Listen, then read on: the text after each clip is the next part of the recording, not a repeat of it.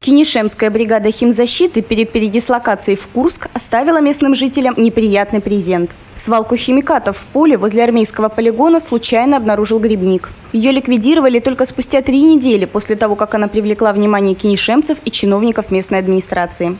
Здесь я обнаружил бочки, предположительно два КАМАЗа свалено из-под какого-то белого химического вещества.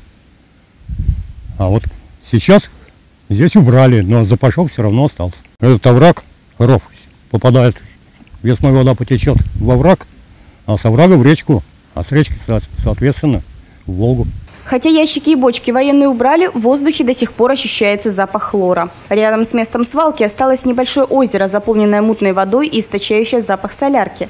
Вероятно, сюда были слиты отходы ГСМ. Мое предположение, это слито остатки, отстой от дизельного топлива. По всей вероятности это слила химбригада, Кенешемская химбригада.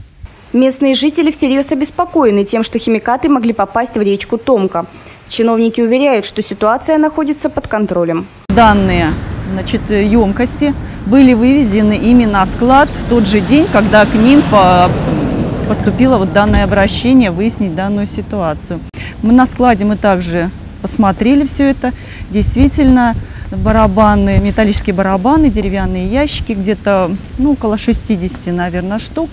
Находится сейчас на складе. Э, склад находится под охраной. Что находится в этих барабанах и ящиках? Это хлорсодержащие вещества, которые используются в дезинфекции, ну, как в военной сфере, соответственно, и, естественно, в быту. То есть может это быть хлорная известь, гипохлорид кальция, либо хлорамин. Открытым остается вопрос, как попали химикаты в поле и по чьей халатности не были ликвидированы должным образом.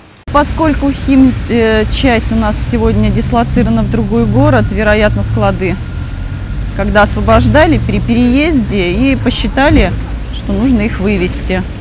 Это не, это не является отходами, это сырье, в общем-то, которое используется. Срок годности у них не истек в этого сырья. Помимо местной администрации, информация о свалке была направлена в Роспотребнадзор. Кинешемские же чиновники со своей стороны проверку завершили и уверяют, что жителям беспокоиться не о чем. Анастасия Николаева, Олег Мелехин, РТВ Иванова.